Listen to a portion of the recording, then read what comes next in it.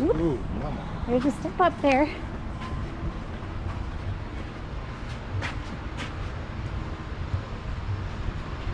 All right, we're headed to the dock just to enjoy some ocean.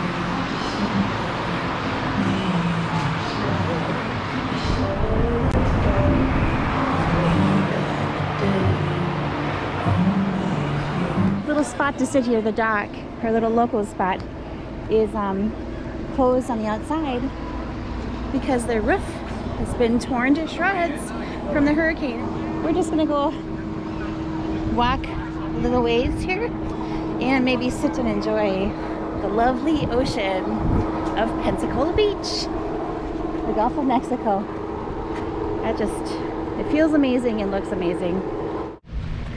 All right, so our, our favorite little local spot, the docks, um, is closed outside because of, I think it's the, the patio um, roof is all broken up because of Hurricane Sally. So we came down the path here to come sit, feel the breeze of the ocean. My coffee. It feels amazing out here though. It feels really good. It's good to be back. All right, you guys, I just cannot resist showing you this little ocean here. We just got here.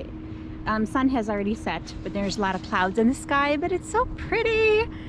We're down at our favorite Pensacola Beach. It's got my heart. So yeah, it was kind of a nice little night. We were um, on a live with somebody and, and I, I just have to capture this moment. So you guys, there's our beach. Yay! Pensacola Beach, right there.